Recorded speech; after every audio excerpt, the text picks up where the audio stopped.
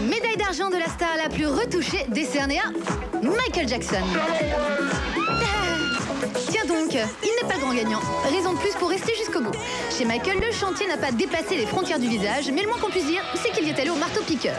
Tout commence par une malheureuse chute.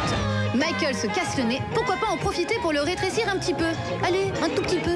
Et voilà comment une opération en toute innocence fut l'amorce de la descente aux enfers. Opération sur son nez, et là, euh, jugez vous-même, à tout rond. Mmh, rond. Ah, ah, c'est pointu. hein. Ah oui, à gauche. À droite. Ah, Encore à gauche. Ah non, pointu. Très... Ah, très le nez. Les pommettes remontaient plus d'une fois, plusieurs rétrécissements des lèvres, une fissure dans le menton, la mâchoire rendue carrée, plusieurs liftings, arrondissement du regard et puis du botox bien entendu, mais à son niveau c'est un détail. Ah, et le blanchiment de la paume direz-vous Michael se plaint d'être atteint du vitiligo, maladie qui provoque une dépigmentation de la peau.